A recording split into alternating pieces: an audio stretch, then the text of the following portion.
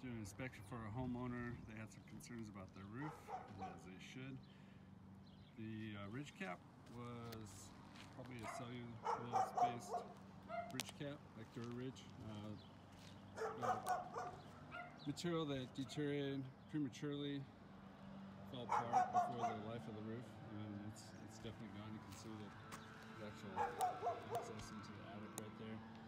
Um, but the roof is pretty worn as well, so it almost doesn't make sense to replace the ridge cap because the roof's near the end of its life anyways. You're going to spend a lot of money since this was a hip roof. You're going to spend a lot of money to replace all that ridge cap. And you just tear it off again when you did the roof, so it's kind of waste.